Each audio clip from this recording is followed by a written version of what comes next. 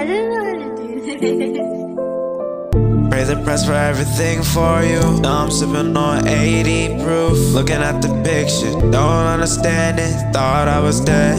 I don't understand this. Looking at myself, but they don't understand me.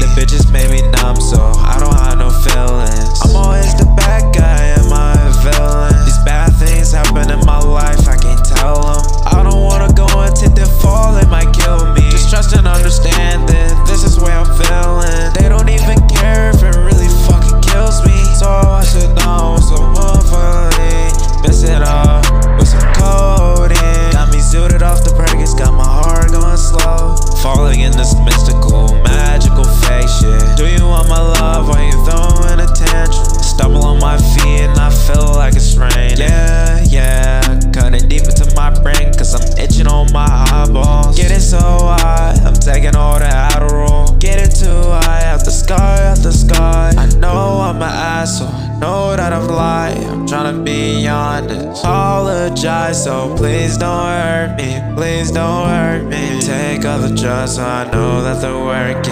Falling in this